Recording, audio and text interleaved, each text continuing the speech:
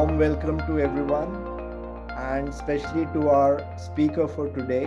Our speaker for today is Ben Moll from LSE, and he's going to talk to us about a very important topic uneven growth, uh, automation's impact on income and wealth inequality. So, Ben will speak for 30 minutes. Then, Laurent Calvet from EDHEC will discuss the paper for 30 minutes. And then we'll have 15 minutes for questions uh, from the audience. If you can turn on your videos, uh, it will be very nice so that we can see each other and feel that we are almost back to a normal setup where we can have regular seminars. So with that, uh, Ben, the floor is all yours. Excellent. Thank you uh, very much. Um, really, really great to be here and, uh, you know, to connect with this uh, uh, somewhat different group than the usual sort of macro crowd I hang out with. So I'm really uh, keen to, to uh, you know, looking forward to this conversation. So this is work with um, uh, Lukasz Rachel, who was on the job market, I guess, last year, is doing a postdoc at Princeton now and is going to UCL, and Pascual Restrepo at Boston University. Um, okay, so our starting point is that sort of in the last 40 years in many developed countries, we've seen uh, a sort of empirical pattern that one may call sort of unevenly distributed economic growth. Here's a, a graph to show you this for the United States. Um, and this is the income distribution for the United States over time. So time on the x-axis, different percentiles of the income distribution here. And you know what you obviously see is that basically the percentiles corresponding to the bottom of the distribution have basically um, stagnated over time, while uh, at the top of the distribution, um, there, there has been much more growth in the in the top percentiles. If you look, you know, further into the top of the distribution, say the 99th percentile, that's even more pronounced. Okay, so you know, obviously there's a question, you know, where this where this comes from, what explains this, and there's a huge literature that argues that technology, so technological change, uh, may affect wage inequality.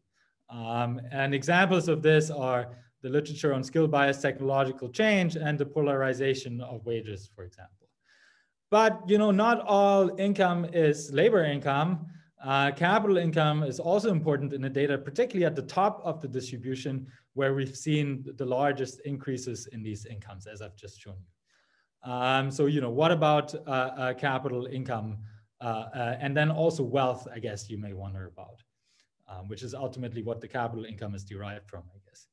So here's what we're going to do here in this paper. So we're going to build a tractable framework um, to study how technology determines uh, not just the distribution of labor incomes, but more generally the distribution of total income, so including capital income and the wealth distribution, okay? And then we're going to use it to examine the distributional effects of automation technologies, um, meaning in particular technologies that substitute uh, labor for capital in production. So think about uh, uh, robots and so on. I'll give some more concrete examples later. Um, here's, I guess, our main argument in a nutshell. And that argument is that um, technology doesn't only affect uh, relative wages, like in the standard uh, you know, labor theories, but technology may also uh, affect returns to wealth, and that may then have distributional consequences. Okay, um, in our particular theory, um, uh, it's sort of going to be an analytical model. As I said, there's a there's a very simple um, but also somewhat specific version of this. Uh, the way it's going to work out is uh, in, there's going to be one sort of uh, common return to wealth in the in the baseline theory, and then the way it's going to look is basically um, uh, if you're familiar with the neoclassical growth model, the return to wealth is going to have the same formula as in a standard neoclassical growth model. So the, the discount rate plus then something having to do with long run growth. But then there's going to be an additional term, okay? And this additional term is going to uh, have something to do with automation. More precisely, there's going to be this sort of a return premium here, um, which is going to depend uh, on the capital share in the economy and that capital share is also, as we're going to show, going to be the right measure uh, uh, that summarizes sort of how much automation there's been uh, in this economy. Okay, so you can see, uh, and so this is an increasing function. So returns to wealth are going to be increasing if automation and the capital share? Um, this is then going to have immediately a bunch of distributional consequences of automation. So there's going to be, um, you know, first of all, a, a result, a, a, distributional effect via wages, okay? Not just via relative wages, but via the level of wages in particular, what's going to happen in this uh, economy is that, um, you know, rather than investment increasing a lot when there's uh, automation, what's instead going to happen is uh, some of this uh, increase in, in, in, automation is going to show up in returns to wealth. Um, and that's going to, on the flip side of it, show up as stagnant wages at the bottom of the uh, wage of the income distribution. Another way of saying this is basically, so this automation is going to uh, generate some productivity gains, not very small ones, but there are going to be uh, productivity gains. But then the way it's going to work is rather than these productivity gains accruing to workers, which is what would happen in standard theories, here instead, these productivity gains are going to accrue uh, at least partly to owners of capital. Okay. And I'll explain this in more detail. What's going to be very important here is basically the elasticity of capital supply. So, you know, how much uh, when, when you have a rightward shift to the, of the capital demand curve, how much of that is going to show up as an increase in the quantity of capital and how much of that is going to show up uh, uh, in an increase in the you know return to the capital. Okay. Then a, a, second effect that, that's going to be there in our model, uh, uh, and you know that effect up here, that's mostly important at the bottom of the income distribution. This effect here is going to be mostly important at the top of the uh, income distribution is going to be via wealth accumulation. Okay, and essentially what's going to happen is because automation increases these returns to wealth, uh, according to this formula up here, uh, what's going to happen is that some people who already have some wealth, uh, so who who own uh, you know part of the capital that's getting more productive due to automation, they're going to be able to accumulate large fortunes. This is going to come up in a very simple way in, in this theory. So in particular, both the income and wealth distributions are going to have Pareto tails like in the data.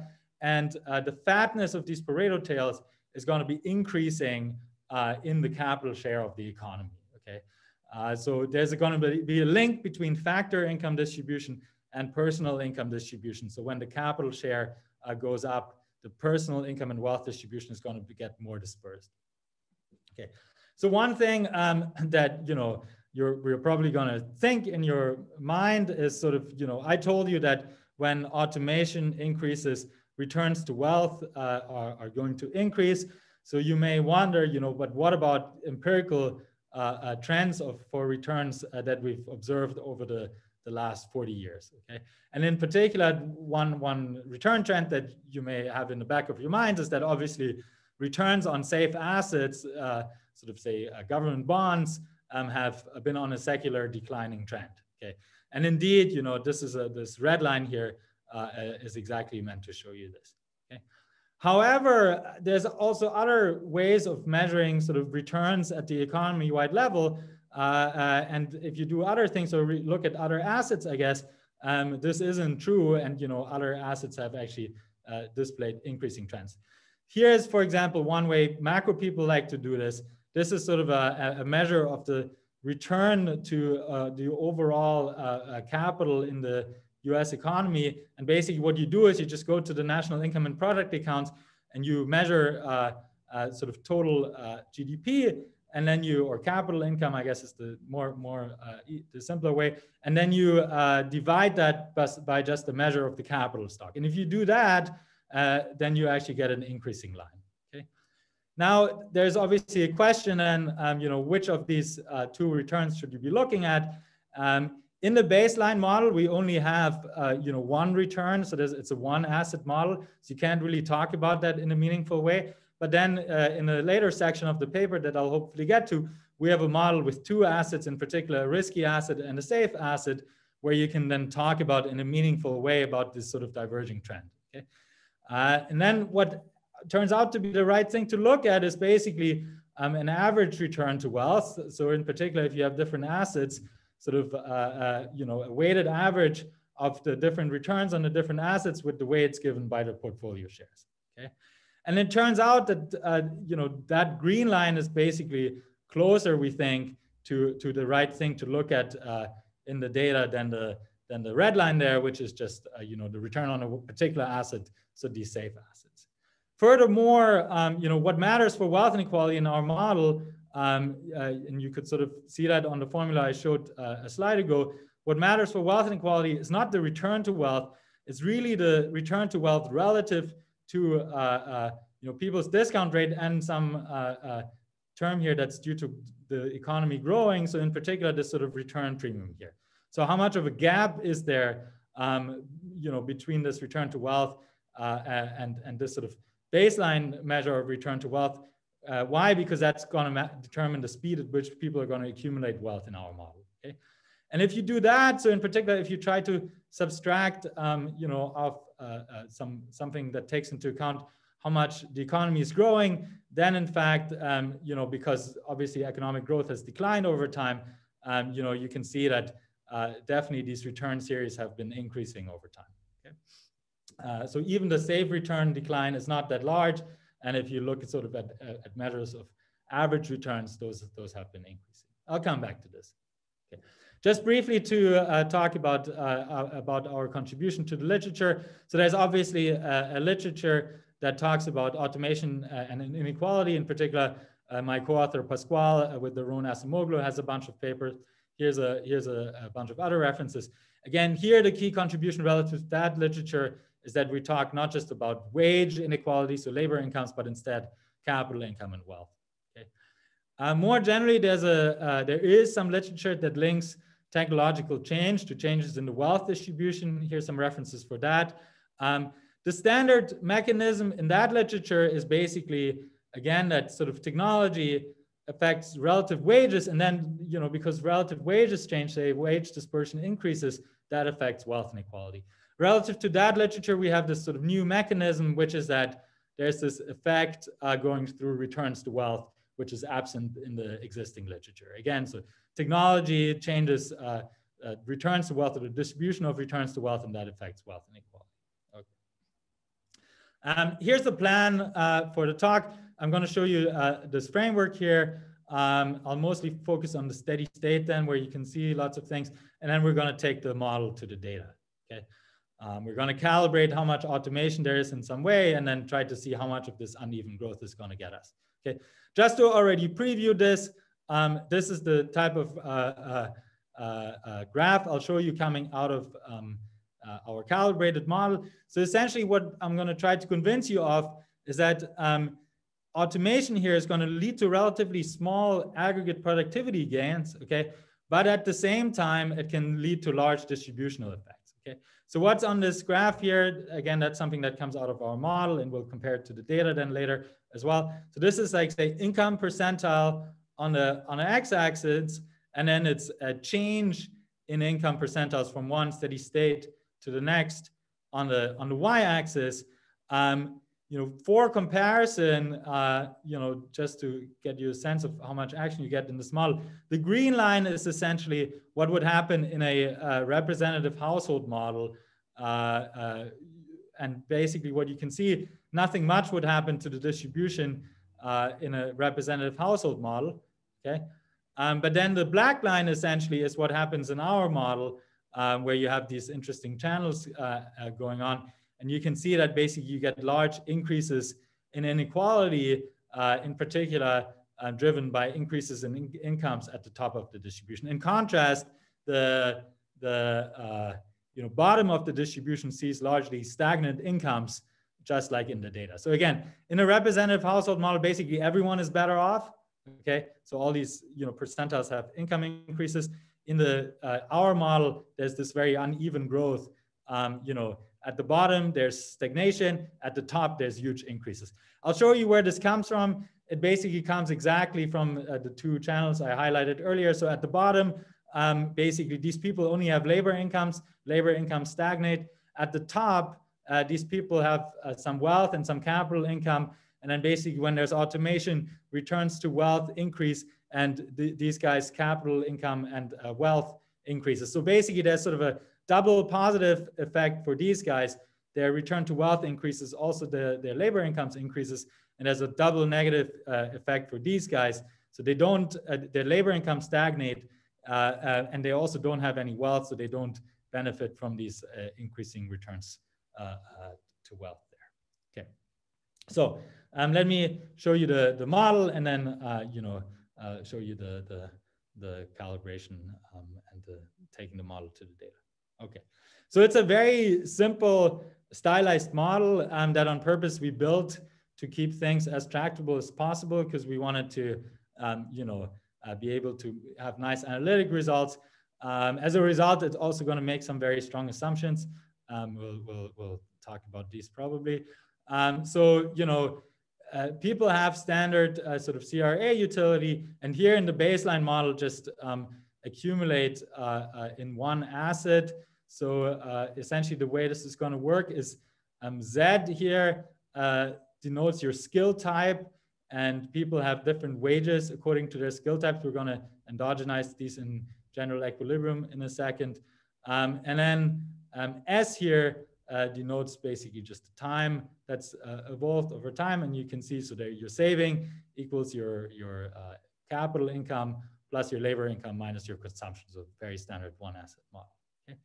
Now, this looks exactly like in a neoclassical growth model, right? So a standard model we know that in that kind of a model, you know, not not much interesting stuff happens. In fact, um, you know, if you if you had uh, uh, uh, you know just this type of a setup, it would actually um, uh, collapse to a neoclassical growth model in which the long run return to wealth would just be pinned down by the discount rate.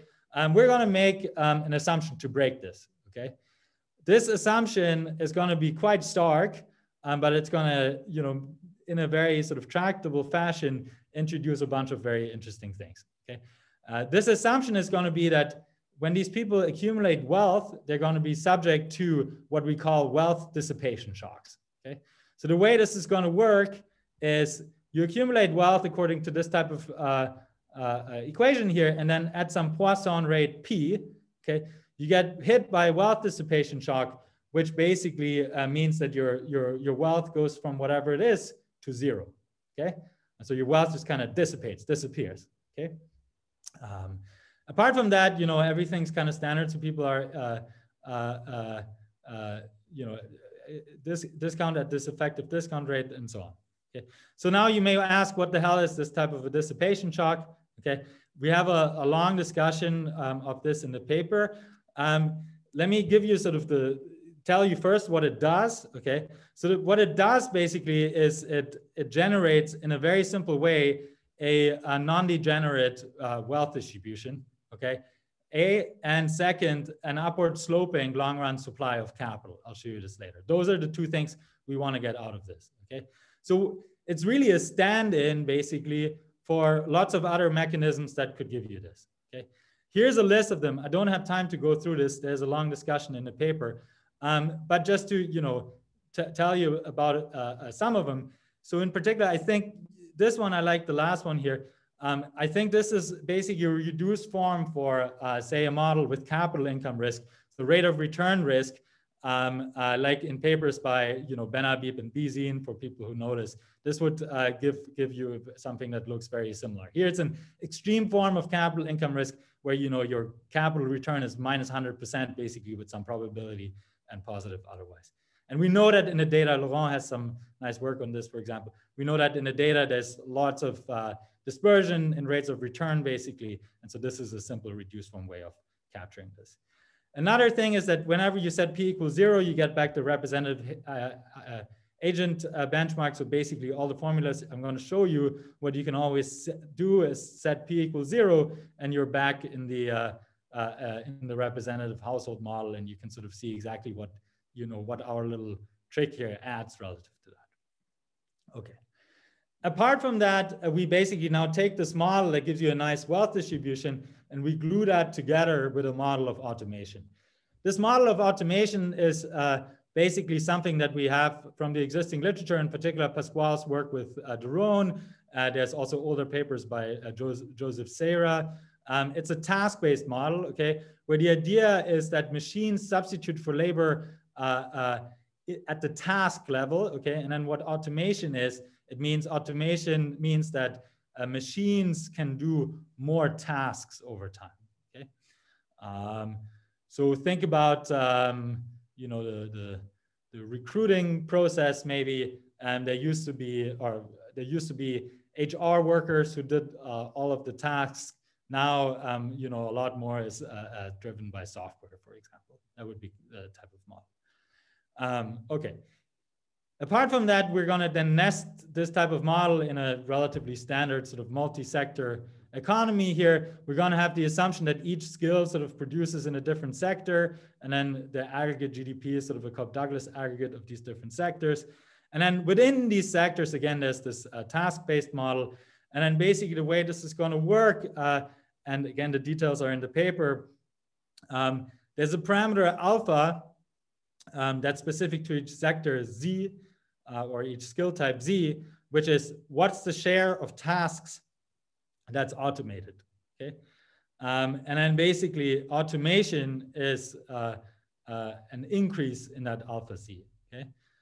And the way this is gonna work, I'll show you this in, on the next slide, I think, is basically these task-based models of automations, the way they work is um, in the end, basically, um, at the sector level, there's going to be a reduced form production function that's just going to be a Cobb-Douglas production function, you know, like k to the alpha z times l to the 1 minus alpha z, and then basically an increase in alpha z um, uh, is, so automation is just going to be an increase in alpha z, which is just an increase in the Cobb-Douglas exponent of the economy. You can already see that's going to give some interesting things, like, for example, uh, uh, an increase in the capital share and the decline in the labor share. Okay.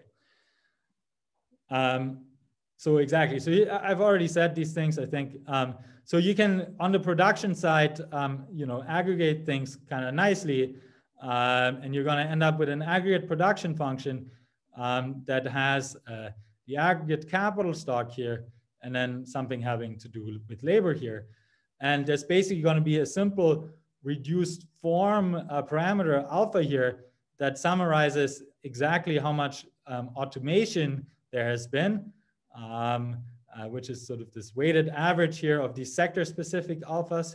Okay, so that obviously comes from the fact that we assume that everything's sort of Cobb-Douglas here. Um, and then basically you can see it as a one-to-one -one mapping between how much automation there's been and uh, what, the, what the capital share is in the economy. Okay? In particular, the factor payments here in this economy are going to be very simple. Um, so the, the return, the rental rate here is just a fraction alpha um, um, of uh, uh, GDP divided by capital. And you have your standard sort of uh, expressions basically like in a neoclassical growth model, say for, for the production side of the economy. I'll show you just because it makes the math slightly easier. Um, uh, equations for the special case where uh, depreciation is zero okay, in which case the rental rate is going to be equal to the return to wealth here. Um, but you know that's not essential to uh, the results I, I want to show. So here comes the key thing, I guess. Um, so essentially, you can get a closed form solution for households' consumption and saving decisions. Okay, um, you know from that um, problem here two slides ago, you can see that you know this has a nice solution potentially. Um, and in particular, here is the key equation I want to focus on. Um, so that's an equation for wealth accumulation. And you can see that, um, you know, essentially this says savings equal to, you know, your standard Euler equation term here, basically um, the gap between the return to wealth minus the discount rate times the intertemporal elasticity of substitution. And then uh, uh, times, uh, this is what we call sort of people's effective wealth. So it's their financial wealth plus their human wealth. Okay, and you can see the relevant state variable here um, is, is going to be this effective wealth. So, you know, you, you don't just want to take into account financial wealth, you also want to take into account human wealth. Now, from this equation, you can pretty immediately derive uh, uh, a simple equation for, um, you know, aggregate capital accumulation. So the accumulation of total wealth. So K here is just the sum of all the little a's, okay?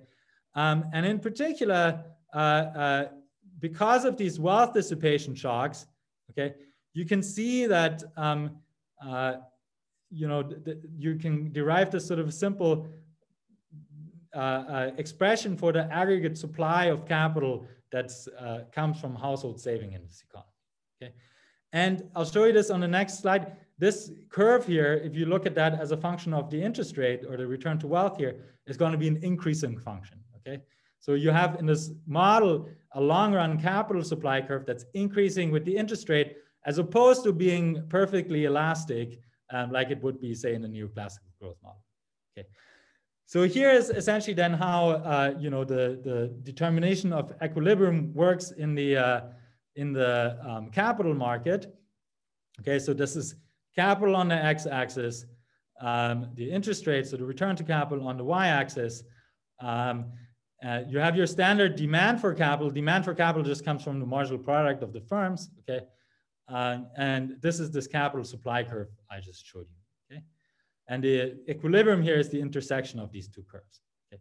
So now let me show you basically um, how uh, automation works in this economy and what happens, you know, with the return to wealth, okay?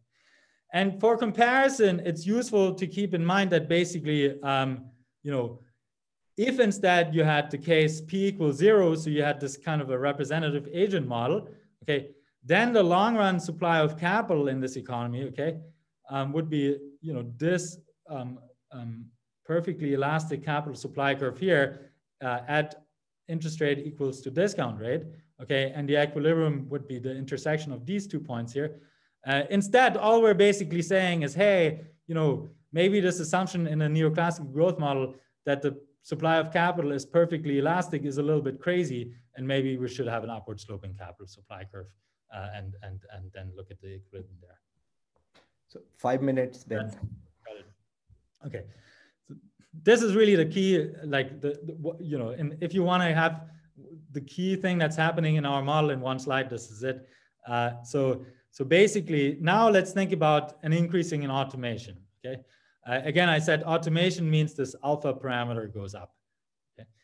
Um, what automation does here is because capital became more productive, um, it shifts this capital demand curve to the right. Okay. Now let's first think what would happen if you had a representative household model, okay, like a neoclassical growth model. Then what would happen with an increase in automation is, you know, the, the capital demand curve shifts to the right here you'd go from this equilibrium to this equilibrium. Um, in particular, the return to wealth would be unchanged, okay, uh, still equal to rho, and you'd have a huge expansion of capital in the economy. So a big inflow, uh, a big increase in investment, basically, okay? In our model, instead, uh, that doesn't happen, okay? Instead, because the capital supply curve is upward sloping, you have a much smaller increase in, uh, in the amount of capital. And instead, that uh, rightward shift in the demand curve shows up in the price, so the, the return to capital. Once you understand this, this is really, you, you almost understand everything that's there in the paper because everything else lo follows logically from this. You know, the fact that, you know, here you're gonna have this, this increase in the return to wealth, okay? Um, so in fact, okay, and, and you can show that basically there's a, yeah, so you have the simple um, uh, equation here for the equilibrium return where you can see that alpha shows up exactly there. And if P is equal to zero, then that effect isn't there. Okay. So um, let me, okay, now I'm running a little low on time. Let me show you uh, uh, two more things um, and then go to the data. So the first thing is um, you can now think about sort of uh, when you have automation, um, what's going to happen to to uh, you know the prices of productive factors um, in the economy and who are these productivity gains going to accrue to. And basically, the way this is going to work is um, in a representative agent model where return to wealth wouldn't move. Okay, you'd always have that um, all the productivity. So this term here would be zero. All the productivity uh, gains in the economy would accrue to labor. Okay, and in the long run, workers are always better off in a standard model. In our model instead, some of the productivity gains are going to accrue to owners of capital instead. Um, and in fact, that uh, effect may be so large that labor may actually lose on average um, from automation. Okay, which again seems kind of intuitive, but in a in a standard model, this effect isn't there at all. Okay. Now, let me briefly uh, show you one more thing from the theory, which is, um, you know, what happens to the wealth distribution here. Essentially, in this type of a model, um, we have a very simple setup where people always accumulate um, according uh, to this term here. So something that de depends on the gap between the return to wealth and the discount rate. Um, and then they're hit by these dissipation shocks. This kind of uh, setup where people accumulate wealth through a process like this um, is well known to um, lead to a stationary distribution that is a Pareto distribution. Okay, um, and essentially all we're saying here is, uh, you know, let's let's you know work that out and see what the Pareto distribution is, and you get a very simple um, characterization. In particular, you get that the distribution of wealth in this economy has a, a tail index. Okay, and you know there's a little bit of algebra involved in there but it has a tail index that's exactly equal to the capital share, okay? So whenever the capital share increases, then the fatness of the Pareto distribution um, increases. And the mechanism for this is exactly through the return to wealth because basically people accumulate wealth as a, at a faster pace. Okay. Um, if it's okay, let me take like uh, one more uh, minute. Um, so, you know, we have this extended model where we add another asset in particular, uh, you know, a risky and a safe asset, just so we can talk about this trend I showed you in the data between the diverging trend between um, uh, risky and safe rates. Um, and, you know, then, then, so that's useful for that, but let me skip that. And let me just show you basically um, what comes out of this model once you take it to the data. Um, but I, you know, I, I'm not going to do it justice here in, in time. So essentially what we do here um, is we come up with some way of uh, measuring how much automation there is at different wealth percent, uh, income percentiles. Um, uh, and, and then we feed that into our model, okay? And then we try to see um, what it gives in terms of um, uh, changes in the overall income distribution over time, okay? So in terms of the effect of, of labor incomes, that sort of we get by construction. Um, but then the interesting question is what happens to you know, not just labor incomes, but capital income and wealth inequality. Okay, let me just show you uh, this one graph and then sort of conclude. So this is sort of, I, I, guess, you know, the main graph that comes out of the model. Um, essentially, uh, you know, look at the black line. Um, the, the, on the x-axis here is the income percentile. Um, on the y-axis is the model generated change in um, uh, uh, income of these different, uh, these different percentiles from one steady state to the next. And you can see, you know, there's a big, big uneven growth pattern with stagnation at the bottom and increasing incomes at the top. Where does this come from? I already said it in the introduction. At the bottom, it's all due to labor income.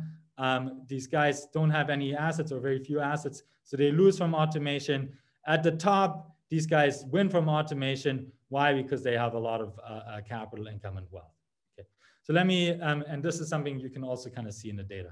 Okay, let me conclude. So this was a tractable framework to think about this uneven growth that we've seen in the data. We've used it to study one particular uh, change, namely, um, you know, automation and, uh, you know, figured out its distributional effects. Um, importantly, not just on wages, but also on income and wealth distributions. The, the key new channel here uh, was that technology may affect returns and that may lead uh, to distributional effects. Um, you know, going forward, you can use this same structure because uh, it's nice and tractable to also think about other types of technical change, maybe, you know, changes in market structure. You can think about optimal taxation and so on. This is, we haven't done yet, maybe probably a separate project.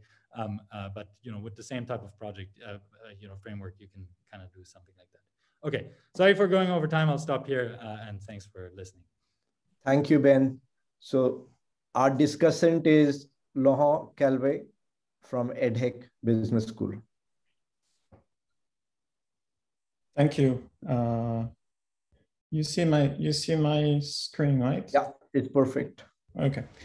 So thank you very much. Uh, this is a, actually a very interesting paper. Uh, I really enjoy reading it. I learned a lot from it. Uh, so what I'll do is uh, first I go uh, over the model uh, and then I'll uh, present some suggestions for you know improvements, future research, and so on. Okay, so the idea of the paper is that if you look at the US since 1980, right, the aggregate economy has grown as a whole at a rate of 2%. Uh, but at the same time, incomes in a lower half of the distribution have stagnated, while at the top, incomes have doubled or tripled, depending on the uh, quantile you're looking at. And in addition, we know that wealth inequality has strongly increased. Now, what could be driving this joint set of facts? Well, automation has, uh, you know, has been proposed as previously as a possible explanation. There's a bunch of papers that, that make this point, okay? Uh, so the paper is ambitious, it's very well written. It was actually, it's actually very straightforward to understand what's done, even though it's a, it's a technical and you know, highly sophisticated general equilibrium model. Uh, and what it does is that it links uh, the tasks to the distribute, so the, the, the, tasks, right, that are performed in the, uh, in the economy to the distribution of both income and wealth. And I think that's the defining feature of this paper is that they look jointly at income and wealth. And that's a very interesting idea, okay? I've worked in, a little bit in this area and I know that, you know, there is this disconnect often between the two uh, aspects, income and wealth, and it's really good to be able to think about them jointly. So what they show is that automation generates uh, what I described before, wage stagnation for low skill workers, income growth for high skill workers, and higher returns on capital. And the calibrated version of the model captures key features of the data.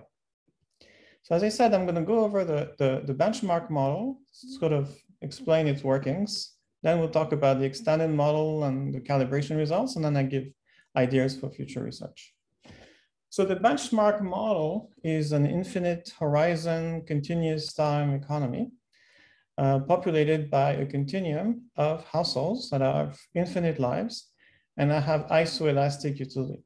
Okay, so their uh, utility function is characterized by a time preference rate, rho star, and an elasticity of intertemporal substitution 1 over sigma. Now, each household has a scale Z, and there are finitely uh, many scales. And everyone with scale Z receives wage WZ. And LZ denotes the fraction of the population with scale Z. Okay, so that's the key segmentation of the population of workers. Okay. Um, now, wealth accumulation is subject to dissipation shocks, and that's key, arriving at a constant rate P.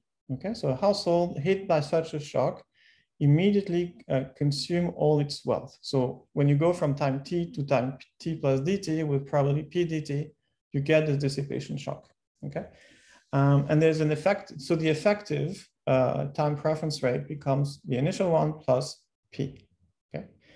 Uh, now, the, the households solve this optimization problem, right? So they, it's actually what they're solving turns out to be deterministic, despite the existence of the dissipation rate. So they solve this problem, okay? And in fact, this is one of my points. I would have liked to see a little bit more discussion uh, of, uh, you know, the interaction between P and the, and the optimization problem. I saw there is some in the appendix, but it would be good to provide a little bit more intuition on, on this. Now, there is an aggregate technology, right? So essentially there's one big farm in this economy, as far as I understand. So there's, if you work in sector Z, right, uh, you produce an intermediate output YZ.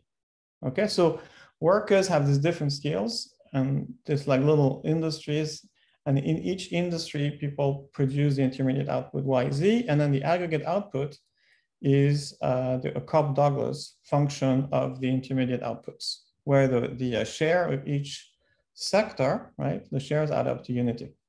Okay, so how are the, what is the technology used for uh, the uh, intermediate outputs? So here they use a, a model automation, uh, so which, which exists in the, in the literature as, as Ben explained in his presentation.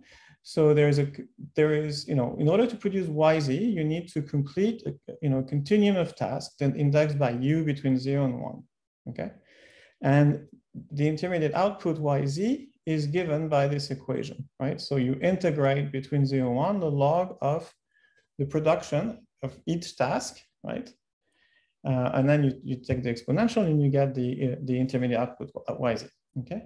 So now, how is the task, you know, what is the output corresponding to a task? Well, And this is where what's key here, if the task U is below some number alpha Z, right, then you can automate it. So you can, you know, produce YZ of U using capital.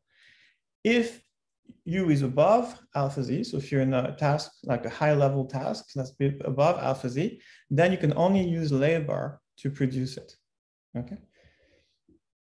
So alpha Z is the uh, parameter that controls how, much, how easy it is, how possible it is to automate a task within uh, a sector, within sector Z, okay?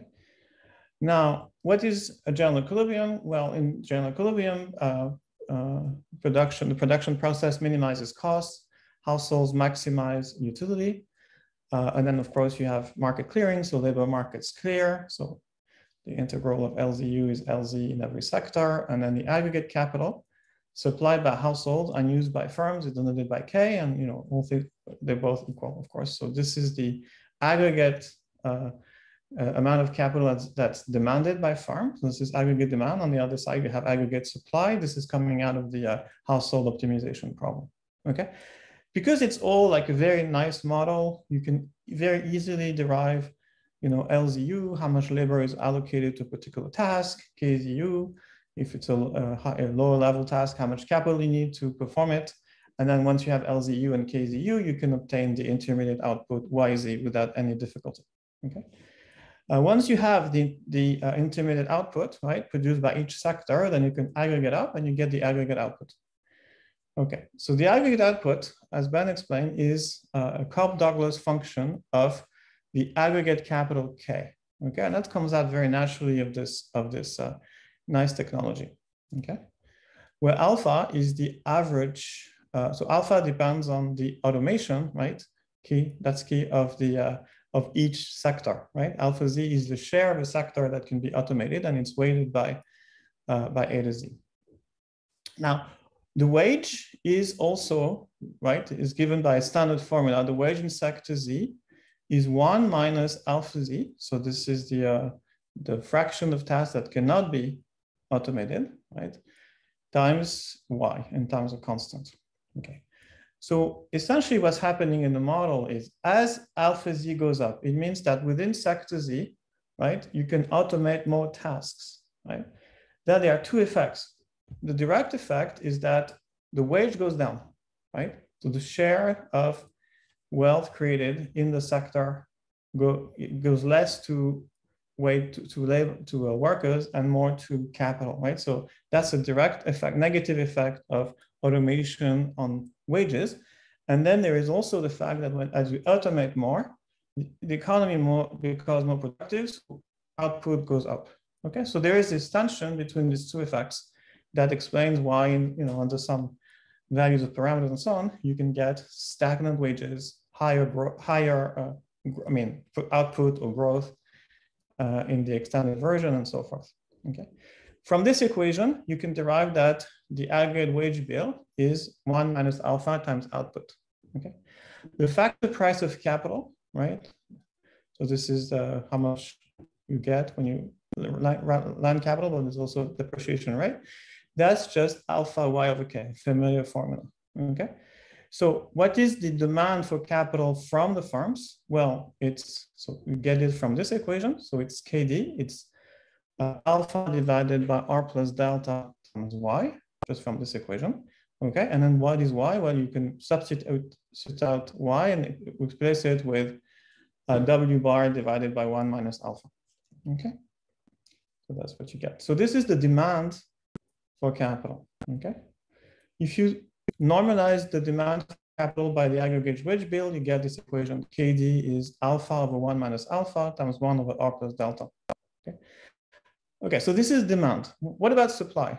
Uh, household optimality implies this familiar uh, accumulation equation, except for the fact you have the destruction, right? You have the destruction of capital at rate P due to these dissipation shocks.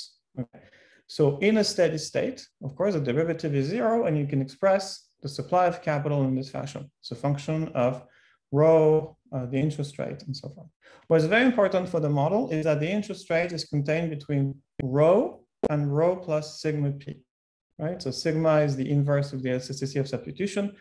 P is the probability of destruction. And that, that's, that's what allows the model to have an upward sloping uh, supply as opposed to a horizontal supply, is the case in a, in a representative agent model, or if you is equal to zero. Okay, so we've seen this graph. We get, Ben explained it very well. You have supply, you have demand at the steady state. Um, you know, this is the supply from from uh, from households. This is the demand by by firms. If alpha goes up, there's an outward shift in demand. The interest rate, I mean, the rate of return from capital goes up, and the capital goes up. So you get both higher return on wealth and higher output okay, in, in a steady state. So I think this is a very clear, very elegant model. And then they look at the implications for labor. So when a sector becomes more automated, then the steady state wage falls relative to other uh, sectors. And this is a direct, very simple implication of, uh, of this equality here, right? So if you take the ratio WZ over W when you compare two sectors, you just get essentially the ratio of the alphas, and so you get the result. Uh, what's a little bit more, what's a little bit more, you know, takes more work at least is to show that automation can decrease the average wage if uh, P is sufficiently high. That is if, so automation can, you know, promotes, you would think, right, the accumulation of capital. But if capital gets destroyed sufficiently fast, overall, you know, uh, you see that automation has a negative impact on, on the average wage. Another, uh, the, the nice, nice, one of the nice features of the model is that it's a very modular model, a very modular paper in the sense that they take, you know, uh, the consumption portfolio problem, they take uh, technology with automation, and they also take, uh, and you know, they, you, through the dissipation rate, they also get results that are familiar. Also, since Champernowne and you know Wold and Whittle, so since the 50s, we know that when you have a, a a, wealth accumulation process with dissipation and with a, a, strictly positive lower bound provided here by the by human capital, you know that you get Pareto tails. Okay, and so here you get you know that wealth and income have Pareto tail with exponent here uh, zeta, and they characterize zeta, and this is known as I said from the 50s. You have to take the ratio of the household accumulation rate to the dissipation rate. Okay, which in our case is, I mean, in the case of the paper, R star minus rho divided by sigma.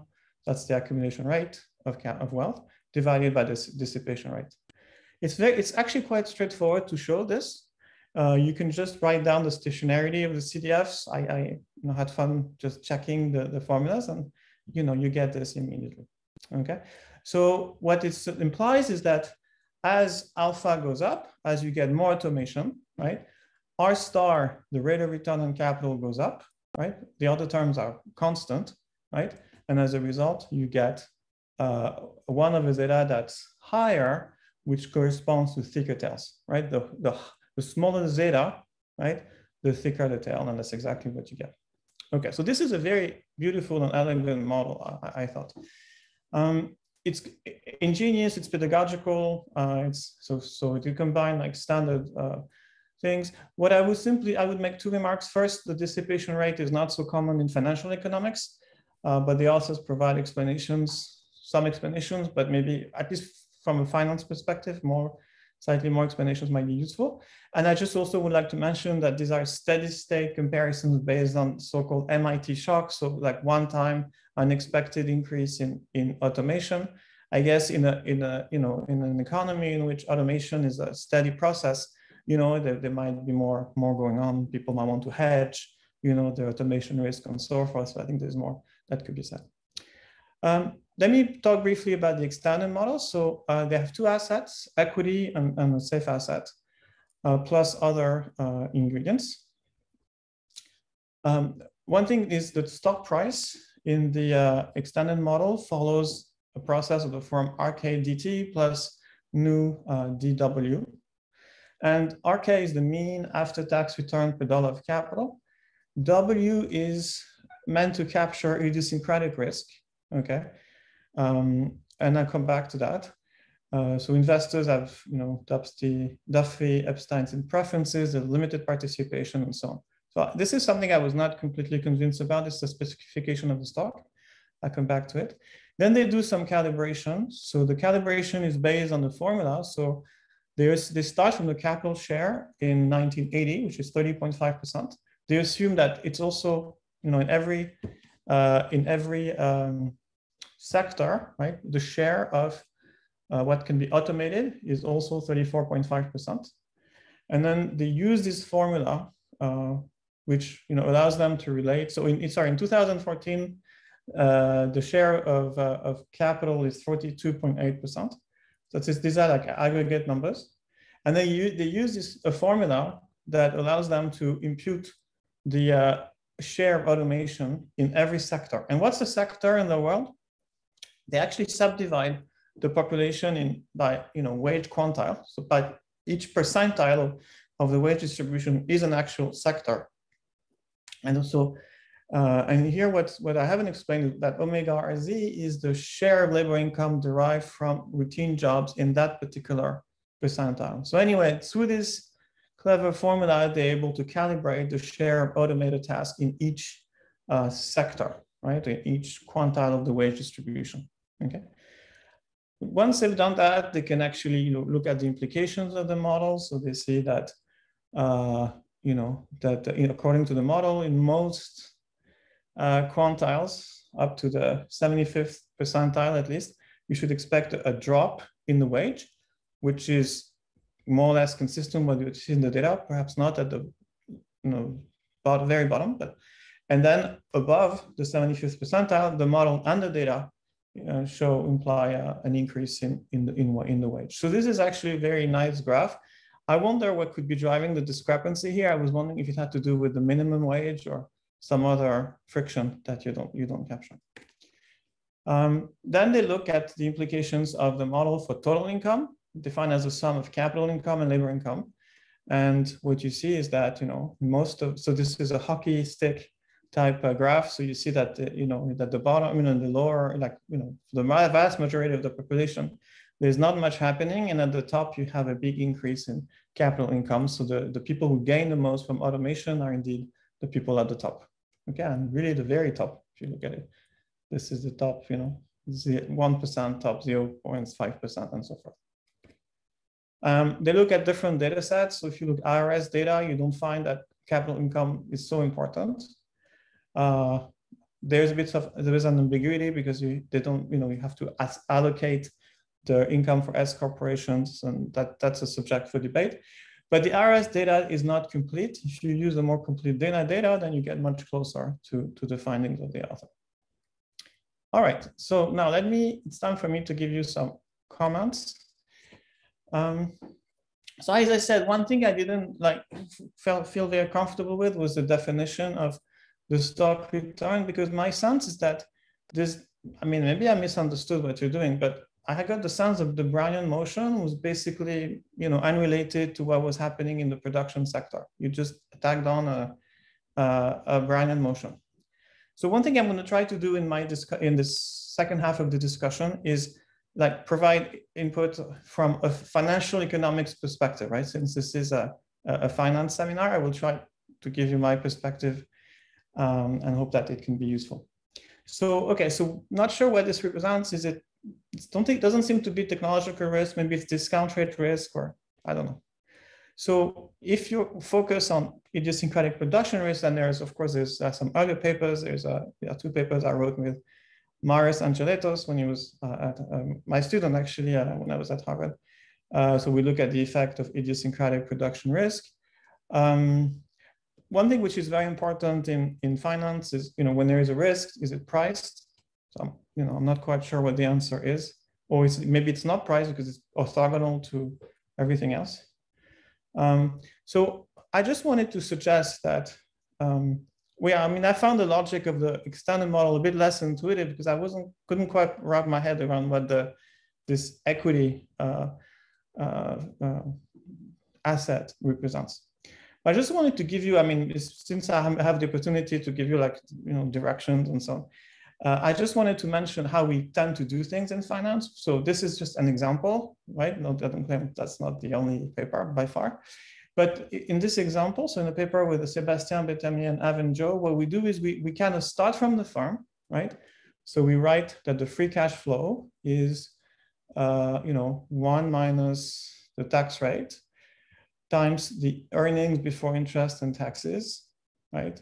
So, you know, we express this as a random variable, right? an plus the n. So this is our shock, right? This is the shock to the free cash flow times, you know, times the volatility of cash flow times the capital stock plus the tax shield. So the point is, you know, we introduce the shocks through free cash flow or through the EBIT, right?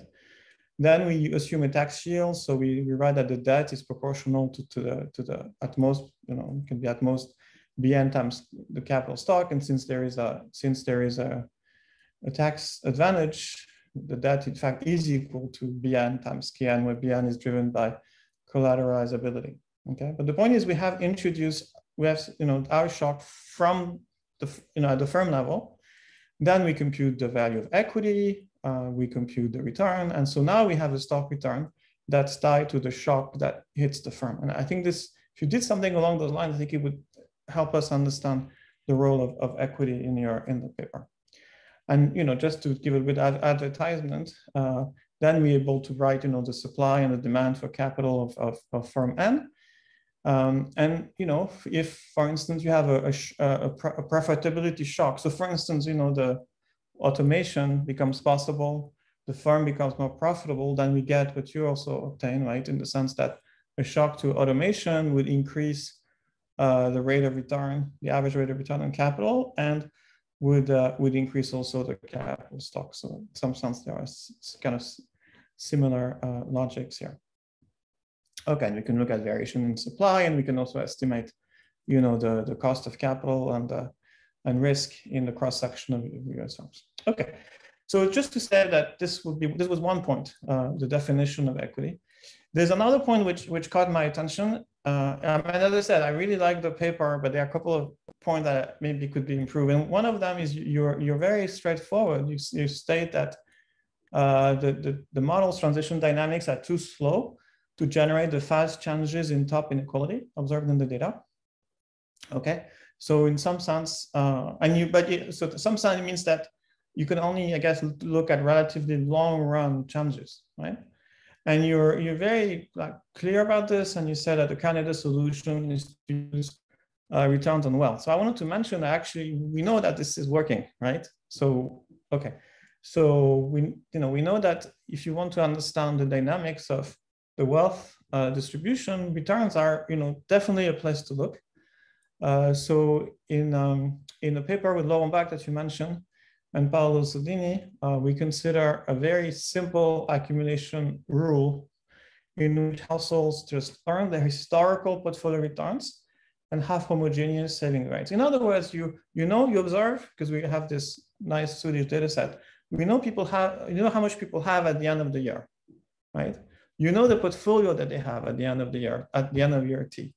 And if you just, forgetting about saving, take a constant saving rate. If you just use the return that they earn on the assets that they had at the end of year T, you just apply the, the, start, the, the, the realized return between year T and year T plus one, then essentially you, you, you can predict very well the, the distribution of wealth in year T plus one, right? So conditional knowing the distribution of wealth at year T the portfolios of households at year T and the realized return between T and T plus one, then you can actually capture very well the uh, distribution of the top share. So returns are extremely important, right? Just to illustrate this, this is what, you know, this is what the, the black here, black line is the prediction.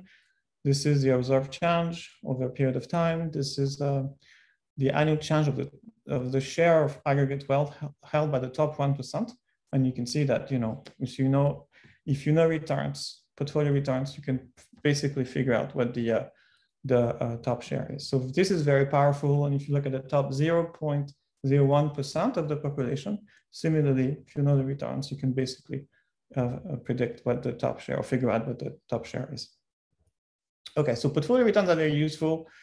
Uh, they have also properties that could help you also that could like uh, that might be worth incorporating in, a, in an extension of your work. Uh, so we know that there are wealth effects. We know that the return on wealth tend to increase with wealth. So that would also help to match uh, the variation in wealth inequality. This is a, an effect that was um, uh, conjectured by Thomas Piketty, but we show that it actually is there. Uh, there are life cycle effects also. So wealthier, older households tend to earn high returns. And I think that's, an, that's something important if you want to track the, uh, the, the distribution of wealth, especially at the top. There is also a paper that's, I think, closely related to what you do. Uh, it's a paper that has been around for a long time. Actually, I have I discussed it before the pandemic. Uh, it's a paper by Francisco Gomes, Thomas Jansson, and Yigitcan Karabulut. Uh, and essentially what they say is that uh, when there is uh, increased automation, when a worker is at risk of you know, being displaced by high, automation, then they tend to rebalance their wealth away from stocks and more towards safe assets. Okay, and so as a result, they will, you know, uh, earn lower average returns, and so that would amplify, right, the the uh, inequality effects of increased automation. So that's another channel which I think might be something you might be uh, interested in. It, it's not a macro model, so it doesn't, these are complementary papers, but I think it's this one is worth having a look at as well. Um, I'm almost done. So confounding factors. So, so I mean, of course, there is a long list of theories of wealth inequality and income inequality. And I just gave a very like, subs I was just giving a subset of this uh, of the list of possible explanations. There's a paper on the cost of capital to entrepreneurs. There's a paper in the in the uh, CEPR workshop on pension savings in response to lower interest rates. So there's just a long list of explanation, changes to the product progressivity of the tax system, and on and on. So one thing that you know that is fair to ask is, you know, is do you think automation is a key channel? How does it compare? What is the respective role of each of these channels? I think this is not for this paper, but that's something that might be interesting to, to, to study in a, in a follow, following paper. So in conclusion, I really enjoyed this paper. Uh, it's a thought-provoking paper that uh, explains, I mean, explores the impact of increased automation on both the income and the wealth side. Um, and that's, I think that's a very good innovation. Uh, so, you know, the results are clear. Change in automation can account for wage stagnation in most of the population and large income and wealth gains at the top. Uh, I think my, I guess my discussion focused on on the uh, finance side of your model, and I think a model with more finance, so you maybe a better defined uh, risky asset, maybe with like elements from returns and household finance would actually make the, the model or the follow-up even stronger. And of course, I look and I understand you're revising the paper, so I look forward to uh, reading the next version. Thank you very much. Thank you very much, Laurent. That was a very careful and detailed discussion. Uh, ben, would you like to respond briefly before we take questions? Absolutely. Yeah. Th thank you very much, uh, uh, Laurent, for this uh, very thoughtful and, and super interesting discussion. Um, yeah, I just want to uh, respond very briefly to uh, three points or say something about three points. So the first one is um, this point you just, your, your question, I guess, you know, what's that what's that DW, right? Like what's the, you know, that idiosyncratic uh, uh, risk? And I guess um, I, I, already put this in the chat. So this is indeed meant to capture um, idiosyncratic production risk, basically exactly like in your work with um, Marios. Um, but I mean, you're correct that if that's the case, because it's a general equilibrium model, you know, strictly speaking, it should sort of, uh, we should spell out, you know, where that shows up in on the production side. Uh, we, we basically, I mean, we, we had some internal notes at some point where we spelled this out and, and we, we convinced ourselves that you can sort of do it. Um, uh, but, but then we didn't put it in the paper, which I guess makes it a little hard to follow. But yeah, I, the, the idea is that these are kind of uh, somehow entrepreneurs and this is sort of idiosyncratic risk that they cannot uh, uh, insure basically. And so that's why there's a, a risky asset. Um, the second point, um, just um, that's not so much a response, more uh, you know an, an, agreement, I guess. Um, it's about uh, Laurent's um, advertisement of this um, point that you know heterogeneity in, in rates of return uh, is super important and can help explain uh, a lot of things, in particular with regard to wealth inequality dynamics. So, so yeah, I want I just wanted to say, you know, I'm a I'm a huge fan of this literature. I I, I 100% believe that's super important. Um, I'm a huge fan of, of, of, your work in, in, in particular there. Um, and so the reason why we didn't put that in the model there, uh, at least in the benchmark model, is just because we wanted to have things nice and tractable. Um, and so what you need, right, to get it to work is you need some, uh, also, also the extended model, you know, doesn't have enough richness to, to do this, even though there is an uh, capital income risk. What you need is sort of different types, right? You know, some people always have a persistently higher return than others. Um, so some people are just better investors or better entrepreneurs. Then it kind of works in terms of giving you the quantitative wealth inequality dynamics. And that was just something that, you know, was too complicated or would have made the, the formulas less nice. But, you know, yeah, if you ask me, how, how, you, how can you fix this model? That's exactly um, where I would go. Um, then the final thing, I mean, more, more also a point of agreement. Yeah, I think like this is on your very last slide where you said there's obviously lots of other, you know, drivers of wealth inequality. Um, yeah, I mean, I think a, a, a, cool paper to write would be sort of a, a horse race, um, basically, of different theories. So have, have like one big theory where you put in different potential drivers of wealth inequality, try to come up with some way to empirically discipline these and then see, you know, which one explains what fraction of the aggregate increase in wealth inequality. Um, this paper is obviously not that. This paper is sort of, you know, uh, focusing on one particular mechanism, trying to really come up with a clean theory of how that works and putting some suggestive numbers on this. Um, but yeah, like a, a follow-up project would be sort of to, to do it properly in a in a bigger quantitative model, I think. Okay, that's all I want to say. But yeah, thanks very much for for a really great discussion. Thank Very you. good. Thank you, Ben. So we are ready for questions. Uh, the easiest thing will be if you unmute yourself and uh, ask questions. So Ulf, you can go first. Yeah, it, I didn't read the papers. I probably missed exactly what's going on. I would, would also like to hear a bit more about this. How do they actually maximize these households? So I just want to understand also from a finance perspective, this this displacement thing that gives you this increasing um, supply, uh, is it just, do I understand correctly that this essentially is just a risk premium because you have to put more of your money into savings because capital is more productive and now you risk this displacement and you're risk averse with this so you require a risk premium for that and therefore the expected return has to go up um, or is that uh, not how you understand it? I mean, if it is, then it's kind of like fair return on the extra risk you take, I guess. I guess the related question is I don't really understand. It seems like it's idiosyncratic to the person. They lose all this.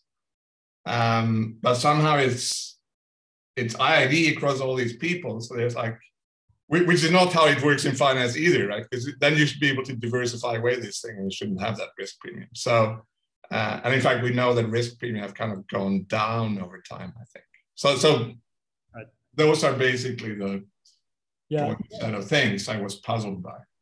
No, I wouldn't understand it as a risk premium. Um, okay. More like it's a it's a steady state condition. So the the way I think about it is it's it's quite mechanical. So basically people start with zero wealth okay like they start their life um, or you know whenever they get wiped out they, they start with zero wealth you need in, in a steady state you want to have some positive um, um, capital okay um, the aggregate capital stock is just you know the the average of of uh, you know individuals wealth in a cross section so in order to have a positive capital stock um, if people get sort of wiped out every now and then it's got to be the case that pe people essentially accumulate wealth, um, you know, rather than just staying put where they are. So they have like A dot positive whenever uh, they don't hit get hit by this shock.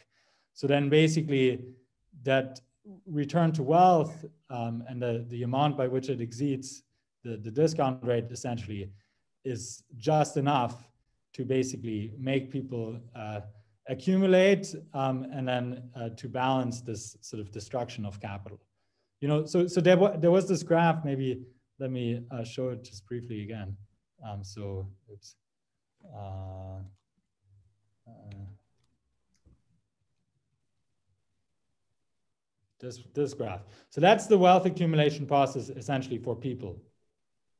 So, you know, you're born, this is effective wealth, which is financial wealth plus human wealth. Um, but so you're born, so you're, you start basically with zero financial wealth, which means that your effective wealth is just your human wealth. Then you accumulate wealth according to this, and then you get wiped out, and then you start again with, with zero wealth. So the point is, in order for this to have a nice stationary equilibrium with positive capital, it's got to be that R is bigger than rho, essentially. Um, just because you know you have a bunch of people who, who, who get hit by these idiosyncratic dissipation shocks. Aggregate wealth is basically you integrate all, over all these guys in a cross section. Um, and so say R's were equal to rho, um, then you know that that line wouldn't be upward sloping, would just be zero. And then everyone would just always stay at zero and you wouldn't have um, uh, you know, positive capital supply, and you wouldn't have equilibrium in the capital market, right? So you, uh, so, so that's essentially, I mean, it's very, it's just very mechanical. Just, um, it wasn't obvious in the household optimization problem how the P actually entered. Right? Like you have to care about this risk of getting wiped out, right? Right. And, I mean, there's so there's different ways of of of thinking about it. Which I mean, in the paper we write down a bunch of different micro foundations. So maybe that makes it a little harder to follow because we're uh, we're, we're trying to be kind of a little bit general and saying, well, it could be either that or that or that or that. And I guess depending on which one it is, like, you know, it, it would want to make you think about it differently. So one way of thinking about it is, for example, um, sort of a perpetual youth thing, um, like, uh, like in a Blanchard-Yaari model. Um, so it's essentially stochastic death. Um, and so, for example, there, then again, there's sort of two ways of doing it. One is you have some annuities where you can insure yourself against that. Um, uh, essentially, that would be uh, would give you sort of the same equations. Um, um or you could also just think you cannot insure against it, but you know when you, just before you die, you know you're going to die, and you're going to eat all your wealth. I mean, all of these are kind of obviously a bit extreme assumptions to keep things tractable um, and, and you know not necessarily super clear what exactly the you know empirical counterpoint is. I mean, I, mean, I think that's fair, um, but essentially it's yeah, it's it's a stand-in right for other things that give you a non-degenerate wealth distribution and uh, uh, upward sloping capital supply, which okay, but, but it's something that they optimize over. They know it could happen, and they optimize the utility subject to that shock. Hundred percent. Yeah. Okay. Hundred percent. Yeah, yeah, yeah. But for example, um, in a in a Blanchard Yaari type setup, right? Like, you know, when when, when you have annuities um, and you can insure against that risk, it basically just shows up like a higher effective discount rate, and it you know doesn't change anything else. Um, that, that's that's basically how this works. Um, yeah, but let me just finish the thought. So essentially, right, there's a standard class of macro models, um, uh, in particular heterogeneous agent models like a la Aiyagari, uh, and so on that have all the same features um, of our model. In particular, they have a nice non-degenerate wealth distribution and they have an upward sloping capital supply. The issue with that type of models is um, you can only solve them on a computer. So they're uh, you know, not, not analytically tractable. So we wanted to have something essentially that functions basically like an Aiyagari model, um, but which you can solve with pencil and paper and so that's that type of model basically uh, uh, you know does does the trick. And it comes at the cost of you know yeah there's a little bit of attention is like what exactly is this dissipation risk supposed to be? Any other questions? Yes i, I would like to to to ask um, how would this uh, general equilibrium would be affected by a decrease in cost of uh, physical investment. You mean like uh, the, if, if capital, say, or investment had a price and that price were declining over time? Um, yeah, I mean, I think it would work basically like in a standard um, neoclassical model in terms of the aggregates. Okay, so you, I guess you'd get uh, a more capital accumulation, I guess. What I haven't thought about is um, what would happen to wealth inequality, which is, I guess, the the interesting question. Um, I, I don't know off the top, top of my head. Um, yeah, it's a good question. Um, yeah, I'd, I'd, I'd, have to spell it. I mean, but it shouldn't be that hard to do. Basically, I mean, what's nice about this this model is that you know you have everything with pencil and paper, and you can just you know add that to the equations and then do the comparative statics, right? And and essentially, I'm pretty sure in that case you should still be able to solve everything in closed form. And uh, I, I but, I just haven't done it basically. Thank you very much, Ben. Uh, I think that brings us to the end of our time.